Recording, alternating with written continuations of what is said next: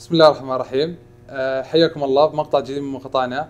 أه في المقطع هذا بإذن الله راح نحاول نتكلم ونغطي لكم عن ال block اللي داخلين أنتم إن شاء الله فيه وتدخلون فيه وتدرسون وتتعمقون فيه اللي هو block ال growth and development قبل أدخل في الموضوع وماهية ال block وش تدرسون في ال block بغيت صراحة أعتذر.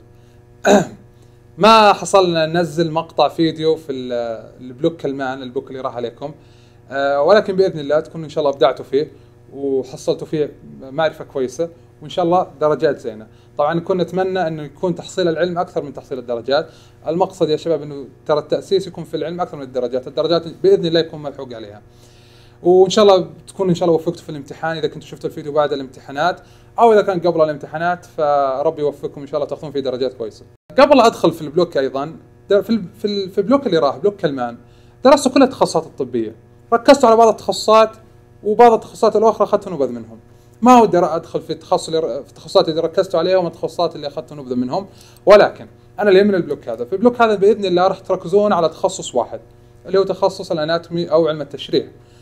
وبشكل أخص راح تركزون على قسم منه اللي قسم ال embryology أو بما يعرف بالعربي اللي هو علم الأجنة.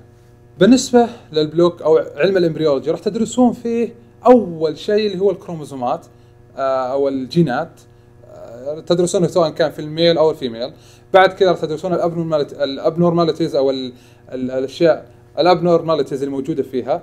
بعد كذا راح تدخلون في مرحلة ال fertilization اللي هي التلقيح. بعد التلقيح راح تركزون على مرحلة ال pregnancy أو الحمل بداية الحمل. بعدها راح تدخلون في ال intrauterine life أو حياة الجنين داخل الرحم. ما راح تدرسون إلا ما يقارب أربع أسابيع فقط. بعدها كذا راح يعطونكم خلال 12 أسبوع خلال 24 أسبوع. لأنه كل الباقيات اللي راح يركزون لكم بس مرحلة النمو في البداية. الباقي راح إن شاء الله تأخذونه خلال السنة خلال السنوات الثلاثة القادمات كاملة. كل جسم أو كل system والتخصص وتطوره الحالي يعني. طيب. بعد ال intrauterine life بإذن الله راح تدخلون على دراسه دراسة بسيطة لمرحلة ال childhood أو مرحلة الطفولة. ما راح يدخل فيها تعميق واجد. بعدها راح راح تدخلون في موضوع يمكن يركز فيه شوي مرحلة اللي هي ال adolescence أو اللي هي مرحلة الرشد اللي هو البلوغ. آه هذه راح يركزون عليها شوي. ال adulthood ما فيها مواضيع كثيرة. الموضوع الثاني راح تركزون عليه آخر شيء اللي مرحلة الايجنج أو هذا بالنسبة إن شاء الله راح تدرسونه. آه بالنسبة لمدة ال block من هو ال block organizer والمسؤول عن ال block من هو الدكتور يعني؟ آه تفاصيل ال block بشكل عام مثل الامتحانات الجدول هذه بإذن الله راح نحاول راح إن شاء الله ننزلها تحت في ال description آه راح تلقونها بإذن الله. آه الأغلب إنه في دكتور هو الأغلب كان على مدار السنين كان هو الثابت بالنسبة لل block هذا الدكتور هشام. آه مكتبه يوازي مكتب مكتبه يوازي قاعتكم طيب نجي الحين للشيء المهم صراحة نجي الحين للمراجع. أنا من وين راح أخذ المعلومات؟ دكتور ما فهمت منه من وين أجيب المعلومة. لا يكون كل اعتمادك مع الدكاترة. الدكاترة حاول تفهم معه. غير كذا كمعلومة موثقة يا شباب ارجعوا للمراجع. راح يدخلوا لك دكاترة كثير يمكن هم أكثر ثلاثة أو أربع دكاترة. كل واحد يعطيك معلومة تختلف عن الثاني. في النهاية ارجع للكتاب. بالنسبة للكتب في كتابين أساسيات. في كتاب اسمه Langman مؤلفه Langman طبعا هذا هو الموثق من الجامعة أو موثق من الكلية هم اللي يعتمدونه والدكاتره اذا إذا صارت أي مشاكل على طول ارجع ل Langman آه غير Langman في كتاب ثاني اسمه Before We Are Born بالنسبة لل material أو المواد نفسها اللي ال content نفسه إلى حد ما نفس الشيء ما اختلف يعني. آه ولكن في اختلافات بسيطة بعض الناس ممكن يعجبوا أسلوب Before We Are Born وبعض الناس ممكن يعجبهم أسلوب Langman على حسب اللي يريحكم.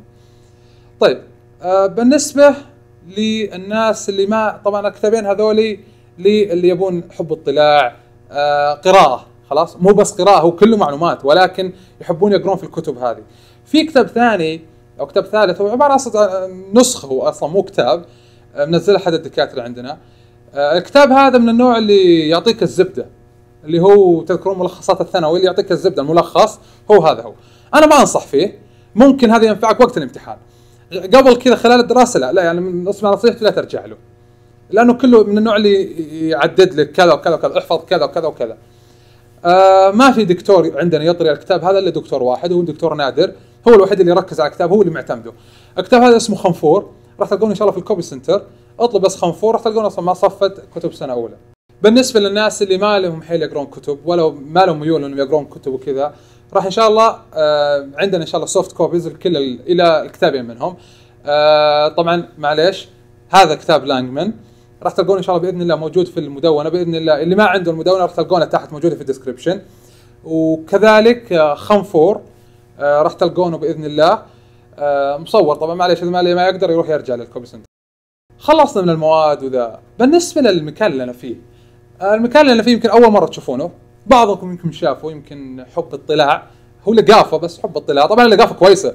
اللقافة كويسة في الطب. إلى حد ما اللقافه ترى مرة كويسة. يعني كونك تكتسب معلومات طبية أحسن. خل والله الملقوف هو اللي يمشي. المهم الغرفة هذه هي معمل التشريح. الغرفة صراحة يعني مرة ممتعة و very interesting يعني مرة يعني الغرفة من كثر ال models اللي فيها شيء يجذب. ولكن كل الغرفة هذه ما راح يهمكم شيء فيها. كل اللي يهمكم أنتم بالنسبة للسنة الأولى وخاصة الجروث الدولابين اللي وراي هذولي والمودلز هذه. كل تركيز بوريهم أنا طيب. إيه؟ هذا الدولاب اللي يقول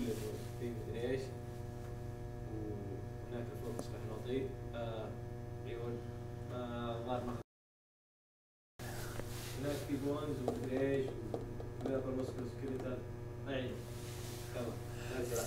طيب آه زي ما قلنا أنتم إن شاء الله تركيز تركيزكم راح يكون على الدولابين هذولي. طبعا لا تخافوا مو كله ونص ذولي مكررات ولكن أنتم أغلب تركيزكم على الدولاب اللي وراه إلى حد ما أنا خلصت block هذا كله ترى ما هو بطويل. آه بس قبل اختم عندي ثلاث نقاط ودي أتكلم عنهم. أول شيء بالنسبة لل community عشان ما تضيعون وإنه وش محاضرات ال community ال HEC أعطونا محاضرات وال community أعطونا محاضرات وش المحاضرات؟ وش المحاضرات هذه؟ بالنسبة لل block هذا على حد علمي وبإذن الله يمكن نفس اللي أنتم.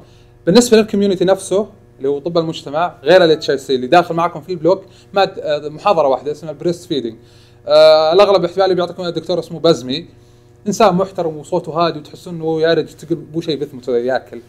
الإنسان هذا المحاضرة ليتم لو تأخذونه واللي ما له حيل يحافظ لانها هي كلها كلام. اللي ما له حيل يحافظه ذا يقرأ كم مرة يفهمه يا عيال افهمه بشكل كبير. هذا يعني كلها محاضرة تقريبا فهم. وبحاول أختم هذه تقريبا آخر نقطة. آه راح توجهون اللي إذا إذا واجهت الصعوبات يمكن بأغلبكم ما راح يواجه ولكن اللي واجهوا الصعوبات منكم يا شباب. وحاول يقرأ ولا قدر يفهم أحيانا لأنه ترى بعض اللغة صعبة كونك يعني إحنا على وقتكم لما دخلنا على المادة هذه كانت صعب فهمها في البداية. آه زي ما قلت لكم اللي حاول آه اللي ما فهم حاول يقرأ ولا فهم ما له حيل يقرأ. آه في دكتور أنصحكم صراحة تروحون لمه لأنه هو الدكتور ما شاء الله تخصصه علم انسجه وتشريح. تخصص في التشريح علم جنة اللي هو امبريولوجي دكتور اسمه دكتور مسعود.